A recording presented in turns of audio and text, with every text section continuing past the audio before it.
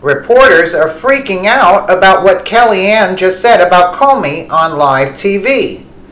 Kellyanne Conway said Donald Trump's decision to fire James Comey Tuesday had nothing to do with the FBI investigation into Russian interference in the presidential election. Conway, who acknowledged the firing of the FBI, should not be done lightly, said the president, had lost confidence in, the FBI director. It's not a cover up, Conway said during an interview with Anderson Cooper on CNN Tuesday night. The president makes it very clear in his letter. Comey assured him he's not under investigation. Cooper asked Conway why the Trump administration is now concerned about the investigation into Hillary Clinton's email. I think you're looking at the wrong set of facts here, she said. You're gonna you're going back to campaign. This man is president of the United States. He acted decisively today. You want this to be about Russia when this is about uh, restoring public confidence in the FBI?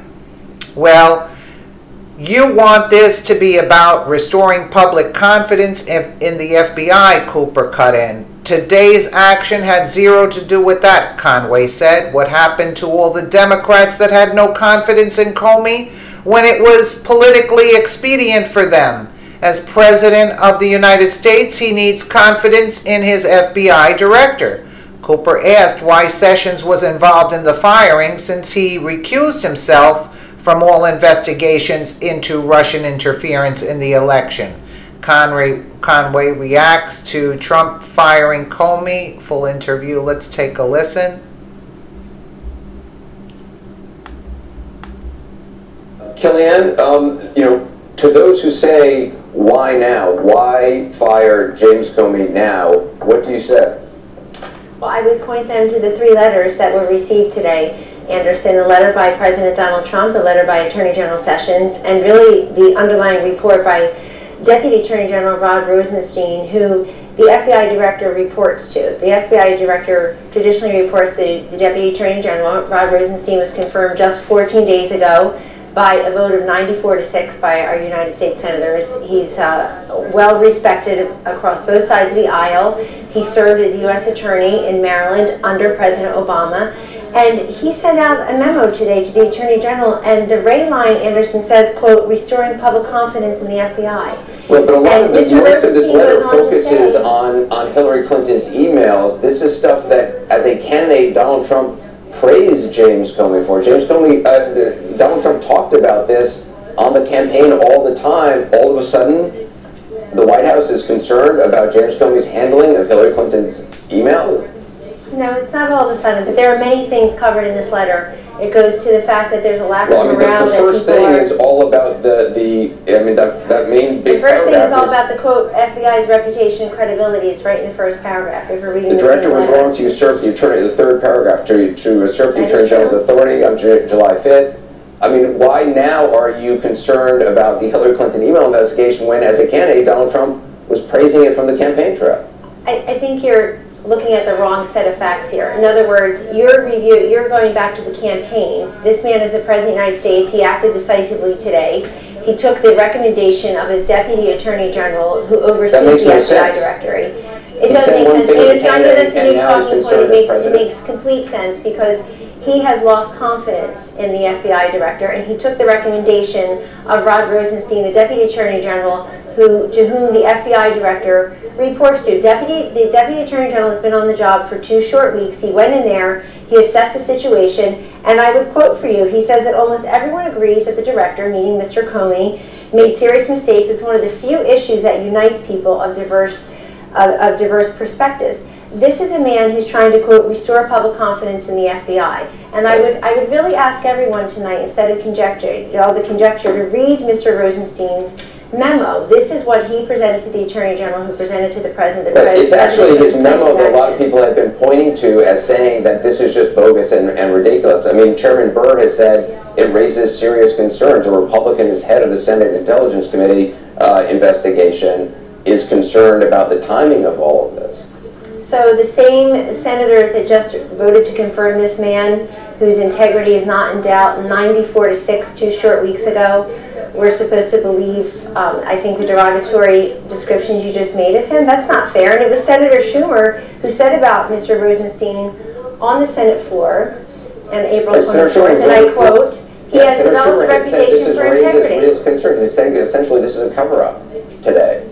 Well, he's wrong. It's not a cover-up. In fact, the president makes very clear in his letter the fact that Mr. Comey, on at least three occasions, assured the president that he is not under investigation. Yeah, when did the he say president that? says in When- his letter. the president says the, the president says that's between the president of the United States and Director Comey. But he is telling him on at least three, occa- uh, three occasions he assured him he's not under investigation, Anderson. But at the same time, he is taking the recommendation of his Deputy Attorney General and the Attorney General of the United States that it is time for fresh leadership and to restore integrity at the FBI. This is what leaders do. They take decisive action based on the information they're provided. That's what President Trump did today. You don't think it looks odd at all that the President of the United States is firing the guy who's leading the investigation into the President's White House and the people around the President? Well, let me repeat that the president has been told by the FBI director that he's not under investigation. But That there right in the president's letter. Well, the President's letter is, I mean, yes, the President gratuitously in this letter says, while I greatly appreciate you informing me on three separate occasions that I'm not under investigation, he then goes on to say that uh, he agrees with the decision to, uh, uh, to, to fire, to let go Comey. Um, But, I mean, clearly, this White House is under investigation. The people around the President, the people around the President are under investigation. No, you, they You aren't. agree with that, yes? Uh, no, I don't. I know that you, that some are You obsessed don't with believe, the word James Russia, Comey said Russia. that there was an ongoing investigation. The president is not under investigation. I'm around the president. I'm not under investigation. I can name Well, many people in that same situation, but I know everybody wants to So you're saying there is no investigation by the FBI that's ongoing right now into the people around the president? If they had something on, saying on that- Trump and I Russia, that, it would have been I'm out saying long that To ago. the extent that, that any of that is true, the Did- president himself is, excuse me, is not the subject of investigation. And most importantly, are you talking about the folks who were involved in the campaign? Yeah, Okay, well, you said the people around the president. So are you talking about people who were, uh, who were well, on some the of them are, may- some of them may still be around the president, some of them, I, I don't know exactly who is being investigated. Exactly, There is an but we know ongoing it's not the subject of investigation by the FBI. Donald Trump. But again, you want this to be about Russia when this is about, quote, restoring confidence and integrity of the FBI. Morale You want low. this to allegedly be about restoring confidence in the FBI, but No, I'm I'm not sure reading the any, uh, many people General. believe this doesn't restore confidence in the FBI. In fact, a lot of people are raising questions about saying it destroys people's confidence in the FBI, that whoever the president may appoint is now going to be in charge of an investigation into people who have been close to the president during the campaign, any potential collusion with Russia. And today's actions had zero to do with that. Today's actions have everything to do with what Mr. Rosenstein, the Deputy Attorney General who oversees the FBI Director and who's been on the job for two weeks but has been in government for decades and was recently served for President Obama as the U.S. Attorney in Maryland. Anderson, if everybody would read his letter rather than just try to squeeze it into a soundbite or wonder what he meant, Uh, or We're try not to to squeeze refer in to soundbite, his we got two hours, I can read the whole letter over the course of the air let's do that. I tonight. would love to, re- I would love to read the letter. I'm sure the president would but- love for us to read the letter out loud. Would you like But, me but to what I start? don't understand, in, in this kind of a letter, why not ask for a special prosecutor at this point? Is that This possible? letter is that about restoring public confidence in the FBI. Right, but in order to restore public confidence, there's a lot of, I just talked to Adam Schiff, who's, you know, the leading uh, Democrat on, on the, uh, Yes. the House uh, committee, Right. who said, we gotta have a special prosecutor. John McCain has talked about the need for a special Okay, prosecutor. Well, what does that have to do with this letter? You're asking me the core question of why Uh, was When you're talking about restoring confidence, today? there's a lot of people on Capitol Hill who say in order to restore confidence, we need a special prosecutor. You're saying What happened to all the Democrats? I've got all their quotes right here that had no confidence in Jim Comey when it was politically expedient for them. With their comments on October 28th, their comments on November 3rd, their comments last There week or have it. two, when Jim Comey testified again and had to But correct there's that plenty, a lot testimony of just Democrats who today. don't have confidence, but feel the timing right now, at this point in the investigation uh, into uh, possible collusion of people in the Trump campaign and, and Russia, seems very odd that now, all of a sudden, the president has lost confidence in, in Jim Comey. the same Jeff Sessions told Anderson- Fox Business News in October of 2016 that Comey had an absolute duty to make an October announcement and had to make one, uh, and had to make a July one. Why did he say that? Nothing, none of that has anything to do with today's actions, has nothing to No, do with what Mr. Rosenstein Jeff Sessions said that though, and now they're, now you're taking issue with that very announcement. No, what Jeff Sessions said in his letter today is most important. What he said in his letter, read it, is that we need uh, in confidence and integrity and action capability at the FBI, and they feel that the current director was unable to perform his duties. And you mentioned the Democrats. That's rich because these the same. De- no, you did. You said the Democrats don't have confidence. You just said that. You said Democrat a couple times, Anderson, respectfully. Let's talk about the Democrats. Are these same Democrats who can't muster up a single vote for health care, a single vote uh, on budgetary matters, three three whole votes on Judge Gorsuch, even though a dozen of them voted for him 11 short years ago to be a circuit court judge. Are these the same Democrats who go out there every single day and say our job is to resist and obstruct? They don't want our democracy and our government to work Okay. well then. I just want to Let's play focus you on what, what happened what, your, today. what Donald Trump, the President of the United States, said about James Comey during the campaign. Let's play this. Irrelevant.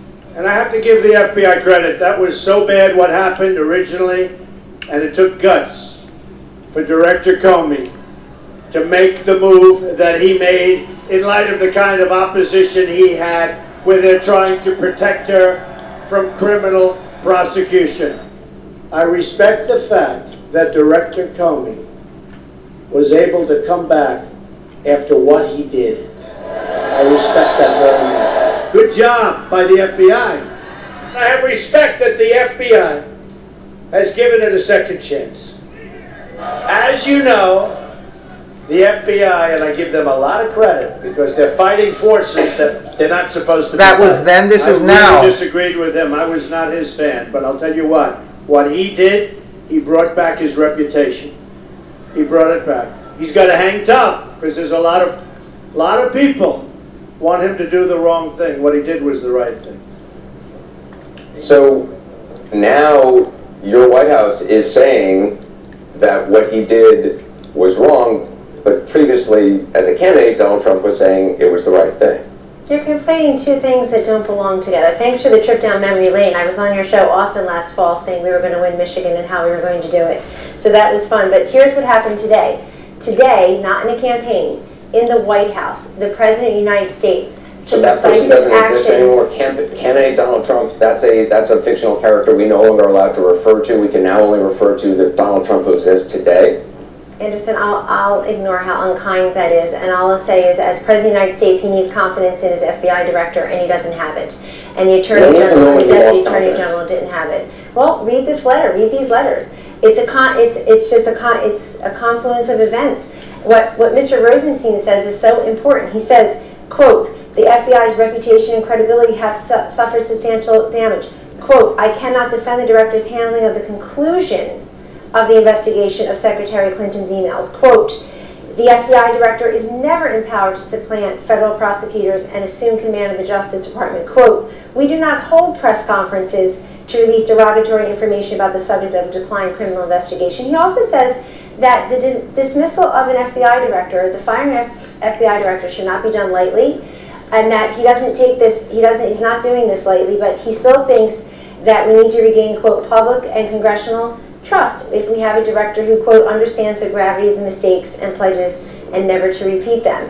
I mean, that is, that is what's happened. This has nothing to do with the campaign from six months ago. This has everything to do with the performance of the FBI director since the president has been in the White House. He took decisive action. He's not an, he's not, he's not a subject of an investigation, and I, we appreciate the time and the platform tonight.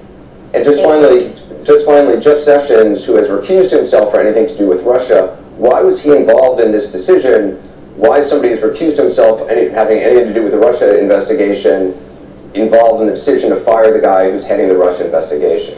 Does that The look like? FBI, the FBI director reports to the deputy attorney general, the deputy attorney general reports to the attorney general, the attorney general reports to the president of the United States. This had nothing to do with Russia, as much as somebody must be getting fifty dollars every time the word is said, I'm convinced, on TV. It has nothing to do with Russia, it has everything to do with whether the current FBI director has the president's confidence and can faithfully and capably execute his duties. The Deputy Attorney General decided that was not the case. He wrote a very long memorandum about it. He presented that to the Attorney General. The Attorney General presented it to the President. The President took the recommendations, as he says in his brief but very powerful letter today, he took their recommendations and he agreed that the only way to restore confidence and trust, public trust and confidence in its vital law force enforcement mission, that of the FBI, was to have a new director. Kellyanne Conway, I appreciate your time tonight as always. Thank you, Anderson. Well, there you have it. Let us know what you think in the comments below. And thank you again for watching.